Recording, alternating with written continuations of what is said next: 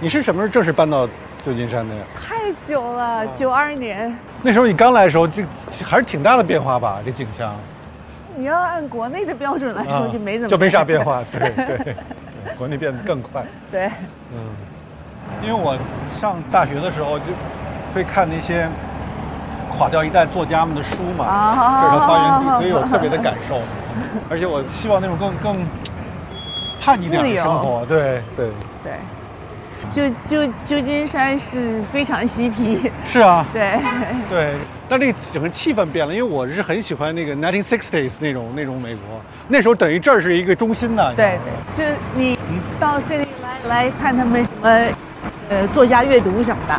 我不太来，我主要来看书，嗯嗯对，嗯嗯来看书，好，我好久没进去了。是吧？对好还是挺有久没进去了意思的。你看他们这个，对我喜欢这个年代这个起符号。啊，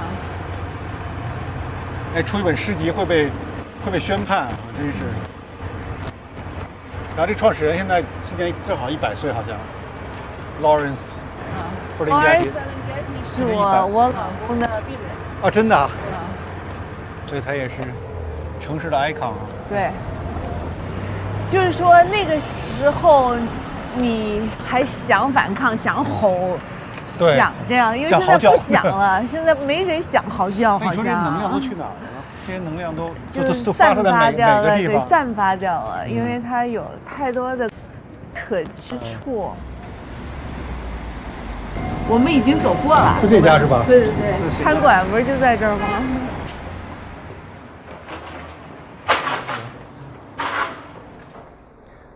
你喜欢这种潮湿的天气吗？挺喜欢的，这这个让我感觉好像有点回忆，有点。嗯，你想过吗？比如如果当时没出国，那命运会怎么样？我不可思议，当时如果没出国的话，嗯嗯不可思议。就是套路式的表达，我当年是完全接受的。嗯我也是在舞台上朗诵，我应该怎么站着，或者嗯书应该怎么拿着，我也会，我也是那么做的。潜意识里面可能知道我是生活在一个大舞台上，嗯我平常很少去想它。那天我看了一部电影叫《Brooklyn》，布鲁克林。，Brooklyn 叫 Irish 是不是？对对，突然的勾起了我，嗯因为他移民是从爱尔兰到纽约，对那至少他语言还是通的，人种啊什么还是还是白人就还是还是白人种，还是这样。嗯我是一个文革当中成长出来的孩子，一架飞机突然间就给我撂纽约，嗯所有的价值观、对错，一下子都没了，然后所有一切熟悉的这种思念、这种牺牲是很大的。嗯，就当时中国还有什么意象让你特别的留恋？除了亲人，除了什么样的东西让你特别的强烈？一种集体主义吧，嗯，因为美国是完全个体化的。就那，种孤立，那种非常孤立的完全个体化的，嗯。对，，因为你你要突然间负起责任来了，嗯。集体主义有一种安全感，嗯，所有的对是上面交给我的对，嗯。所有的错是上面交给我的错，那要用自己的良心去做分析，自己的良心去感受对错，这完全陌生的概念。嗯我当时不知道个人意志是什么，嗯我不知道个人意识是什么，但是这个其实是人应该有的。嗯没有自我意志，很难有道德底线，嗯，因为你就没有办法没有担当良知嘛，对，对你没有办法担当，你没有办法担当。你自己觉得什么时候慢慢真的建立起来你所谓的个人意志也好，慢慢真的开始成熟了？需要多花了多长时间？嗯很难说，太漫长了。那个嗯回忆起来的话，就像一个三岁的孩子那样，对，嗯一切好像要从头开始去学，嗯所以这个痛苦漫长的过程，有很多是内内在的东内心的东西。中间有特别动摇过吗？就放弃退了？没有，没嗯有真的，没有真的觉得因为感情上这种痛苦就改变自己的决定，没有过，嗯。没有过。嗯，你是那你是那种 live 就是 live in the moment 那样的人吗？那种我希望是。嗯。我的理想状态是这样的，嗯。理想状态是，但是很也不是很容易做到。嗯。其实我挺固守的，嗯，所以我说我到美国，我看到有一些其他的留学生，就科技这方面的或者什么跟我同代的，他们其实融入的比我快。嗯，因为他们的语言比较相通嘛，用太用技术语言或者什么语言。对他没有对一个祖国的概念，嗯。有一种象征性的或者情感上的分析，因为我在考虑价值观啊，嗯。我在考虑某一种文化上的什么呀，嗯。啊、负担就比较重，所以很难让我放弃。嗯。我当时出国的时候还没钱看电影，等到我去电影院的时候，看的是《Chariots of Fire》战啊，我特别爱这部电影，你懂 Charles Fell，特别特别。然后，然后我就知道说，那那个英雄人物是这样来表达的，就是说在表达一个英雄的时候，你不能去抹杀他的人性。嗯然后慢慢的，我也看到了许多就是对人性本身的肯定，所以我感受到的是生命力，而不是一个啊、空大的口号。比如说那个 Charles Fell 里面，呃，那个里面有两种信念嘛，一种是宗教是他一个，另一个可能就是为了某种人的这种拓展，我可以跑得更快，我可以更辉煌那种挺希腊式的这种东西。这两种信念哪个对你更有吸引力呢？或者都有吧都有。都有你觉得你是哪一种呢？可能更是作为一个人吧，啊，个体的对这种丰沛性，各种作为一个人，对，你看那个嗯，Emily Emily Earhart 那个、那个飞女飞行员，嗯嗯，为什么她至今人们还在想着她呢？嗯她没有说我是为了航空事业，我要冒这个险，我要做一件勇敢的事情，独自一个人要怎么样的？没有，嗯。它是一种非常个体的冲动，对天空、对航空的一种激情，嗯。一种偏好。嗯。其实世界上就是这样的人是最有创造力的。嗯。我喜欢那些没有实用性的嗯。激情，嗯，就是对人性本身的、对人本身的一种拓展。嗯其实当然小花这么打动人，其实也是某种对更本能的人的情感之间那种表达，是吧？一下子对，当时小花的表达的确是跟其他的之前的叙事完全不同的，对对，叙事不一样，它很模糊的给人带来的这种渴望、向往和、嗯呃爱吧，有一种爱。嗯当时拍的时候对刘晓庆什么印象？十九岁的时候，其实呢，当时呢，其实我进组的时候才十七岁，嗯。我是在小花组过的十八岁的生日，所以他不怎么太带我玩儿，嗯他就把我当孩子，就就就就没什么可多跟我呃聊的，嗯。嗯，我就觉得羡慕他，嗯。特别羡慕他，很豪爽的个性啊，会唱歌，嗯。会弹扬琴，这都是我不会的东西。然后还有就是，不知道为什么他老有午餐肉吃，就特别羡慕，嗯。就是特别特别缺吃的嘛那时候，而且我特别的馋呀，一顿能吃四五个大馒头哈，嗯。特别馋，然后羡慕的不行。嗯。嗯。或者说在一个剧组里面，突然之间在几个月或者一段时间里面，彼此间的感情迅速的加剧，嗯，然后突然又都散去了，这对一个人的情感的考验是怎么样？对你来说？其实就是说，真的，每个小的时候，每次离开摄制组，那种惆怅根本不是一个少年应该有的。嗯当时离开小花组的时候，我也记得挺清楚的，就觉得是大病一场那种感觉。所以我这次拍的也是少年的电影，我真的我看到他们道别的时候，我太理解了。当然，其实这个就是一种马戏团式的生存方法。嗯嗯，现在有手机有网络了，你还可以说去关心到其他事情，过去没有。嗯你的全部的人就是在这个组里，嗯就好像世界上没有其他人了。嗯世界上就这几两三百人，嗯嗯，这就是全世界了，那就是这样了吗？嗯嗯。当年大班引起的争论，你还会不舒服吗？不会，早不会了是吧？就好像看别人一样，对，像另一种人别人的人生。对，好像根根本就不是我自己。嗯，目前为止你你演过这么多，哪个角色让你真的是觉得特别难，特别有挑战性？特别有挑战性的都是特别烂的角色，烂破角色的挑战性可强了。你再说说看怎么你怎么演啊？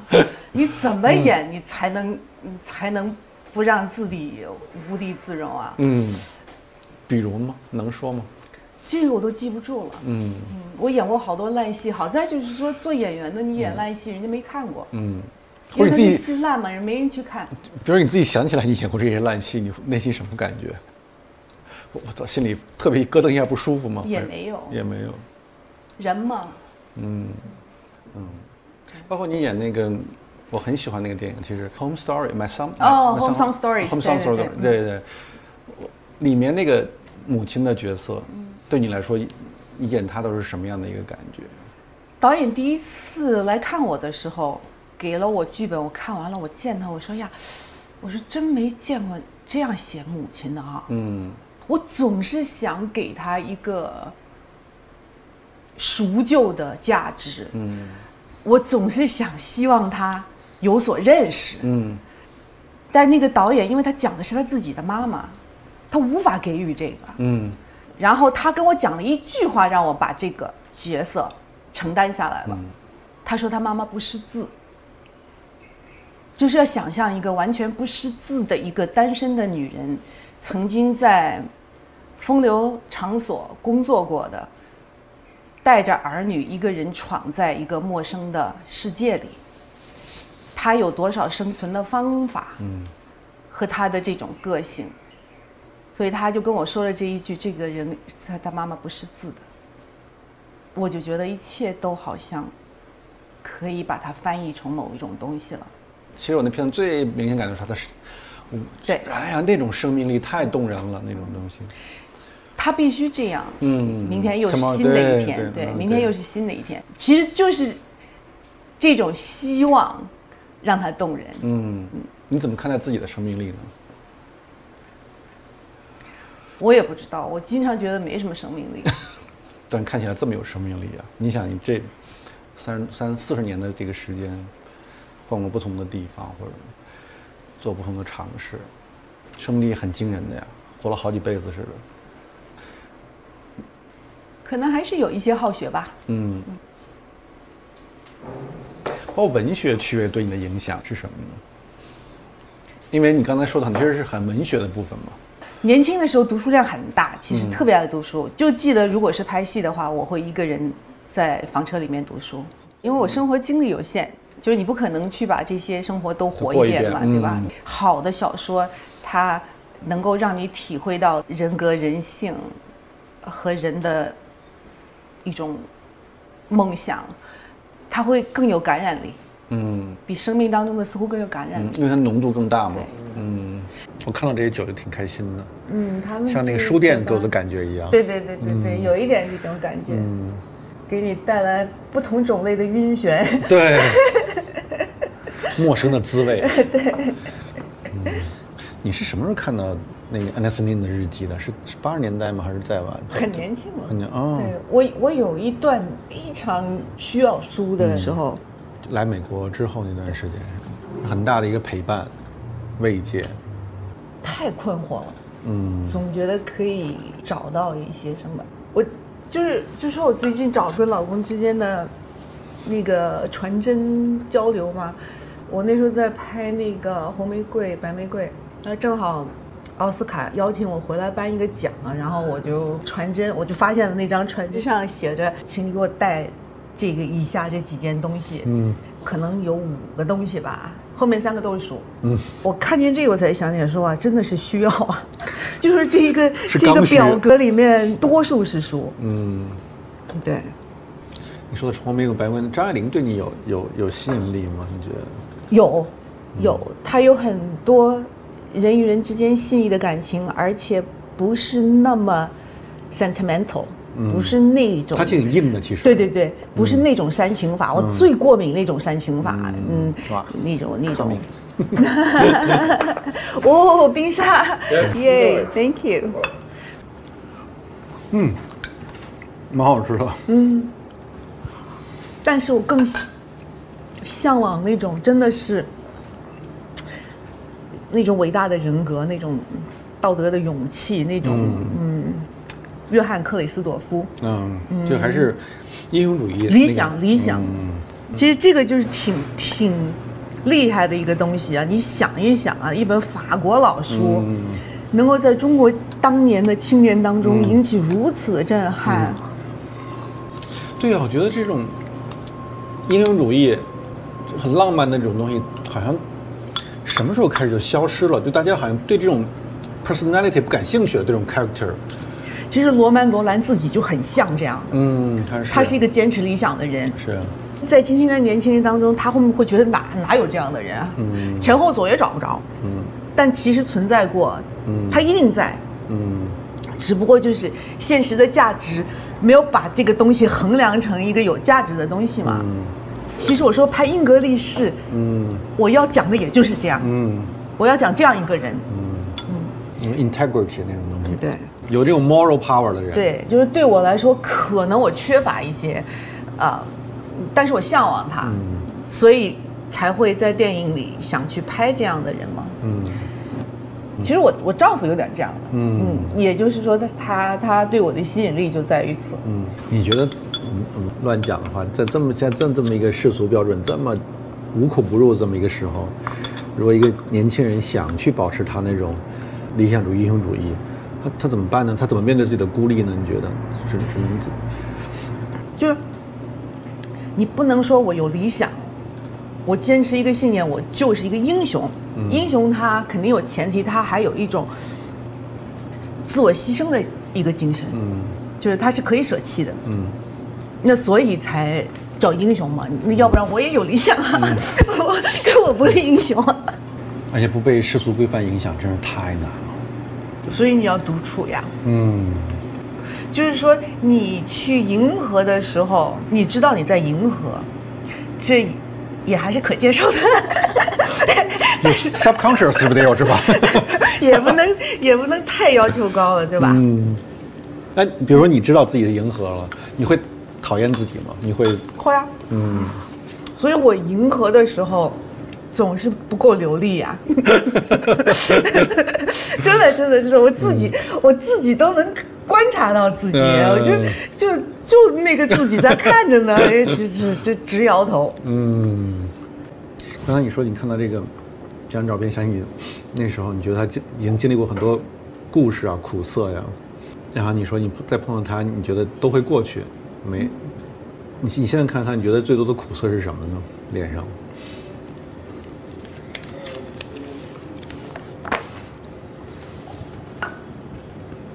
他有一点在有一点挑战性吧，眼睛里还是有一点，就是你能拿我怎么样？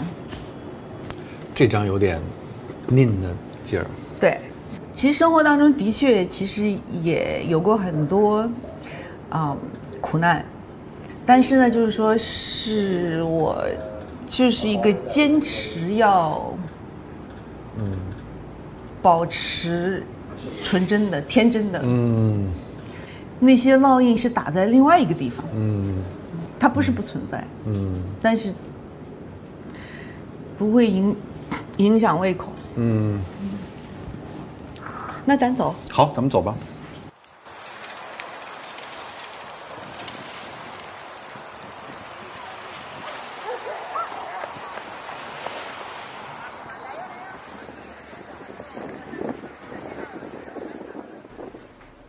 比如你那时候等于去美国一个很大的 culture shock，其实你现在再回到中国，就中国也在发生巨大的变化，年轻一代的思思维方式会给你有一种新的 culture shock 吗。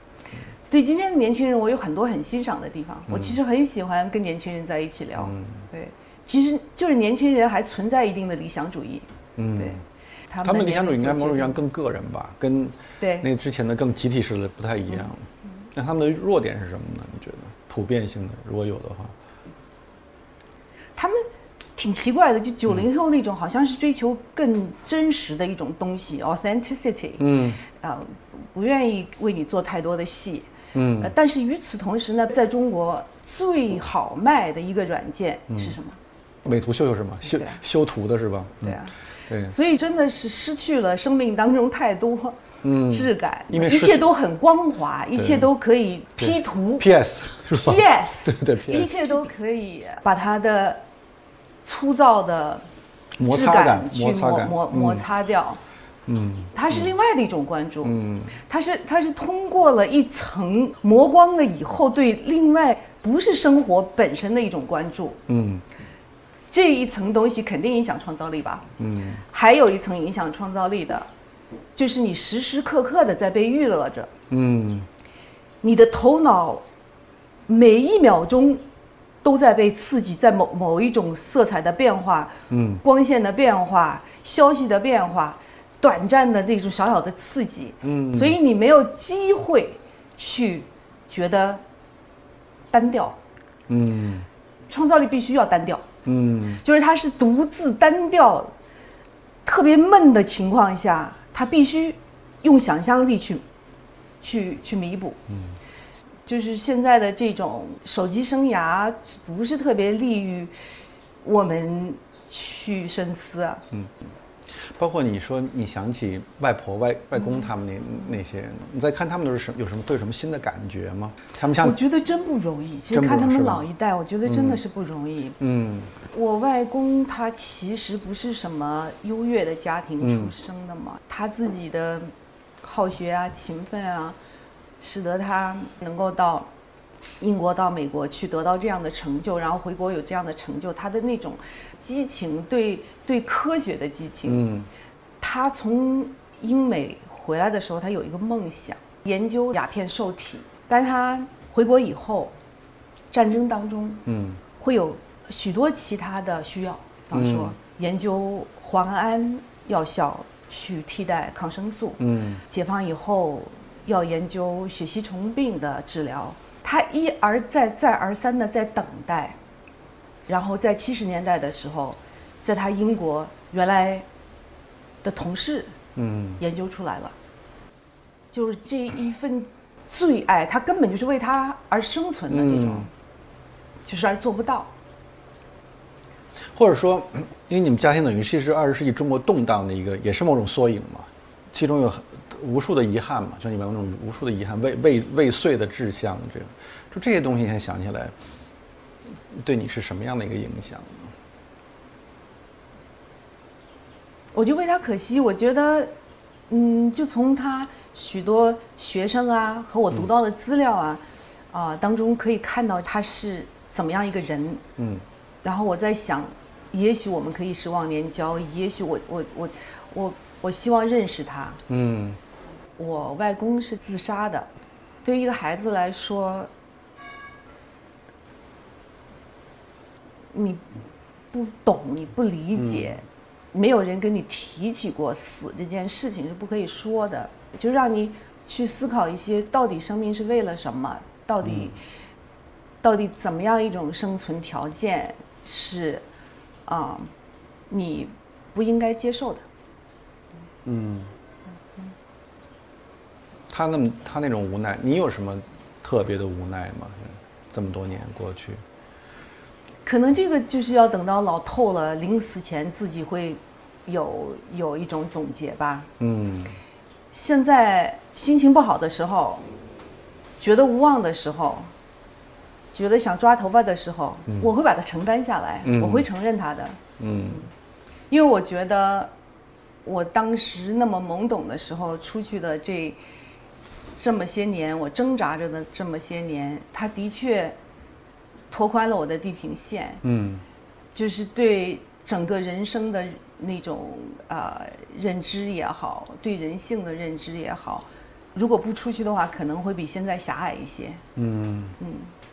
我喜欢现在的视角，嗯。对，变得更宽容。嗯。这种宽容不是说是一种慈悲，这种宽容是一种理解。嗯，那你觉得你现在的情感逻辑，或者说这种 emotional life 这种东西，那种进入一个什么样的一个状态呢？比如说年轻时候很多挣扎嘛，很多渴望，现在是什么？是平静吗？还是说，肯定是有挣扎的，人嗯活着哪能不是啊挣扎呢？嗯对啊，嗯肯定有挣扎的。嗯我就属于其实就是很多很多挣扎的，但是呢，嗯，嗯没人知道的。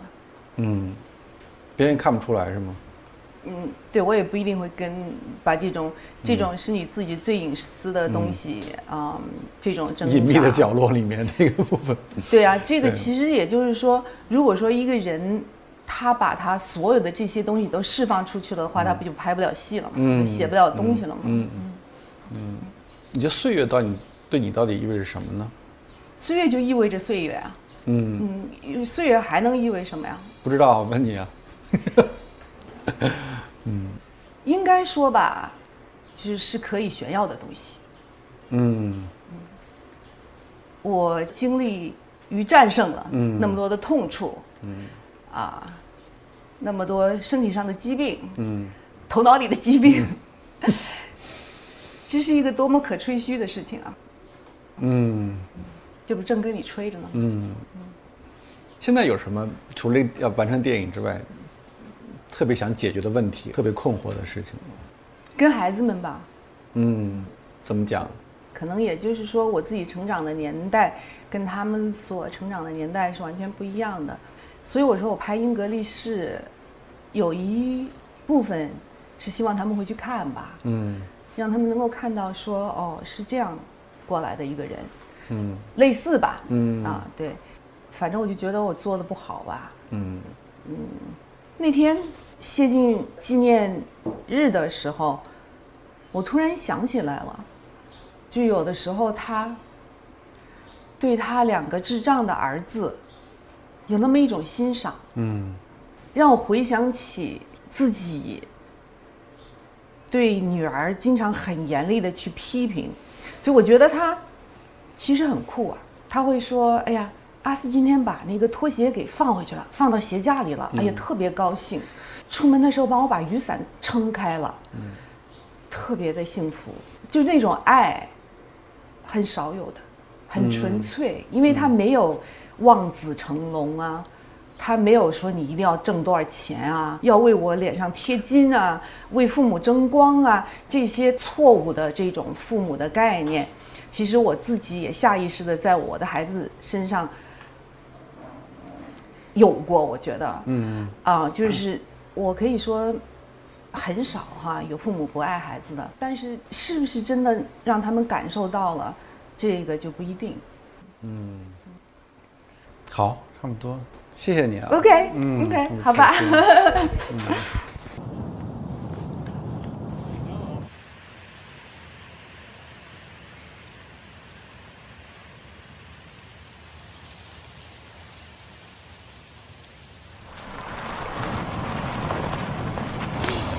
树，树，我很喜欢树。树，嗯。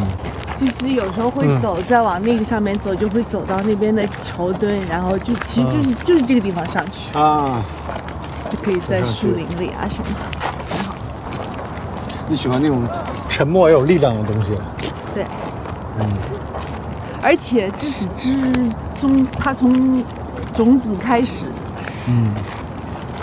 简单的为了完成自己，嗯。就 achieve itself，嗯就是那么一个简单的力量。嗯。那你觉得你是那颗简单的种子吗？我呀，嗯是 我也七歪八，我也七歪八。今天约了呃我女儿，嗯人家让她录一段小视频，嗯说有一个什么戏可以演，她想演戏吗？就喜欢想尝试一下。啊对，来的时候，你就觉得你的孩子是可以当总统的。哎呀，这个这个全世界宽敞的嗯在你面前，嗯然后他越长越大，他的世界就变得越来越小。但不管怎么说，现在还是可以尝试的。嗯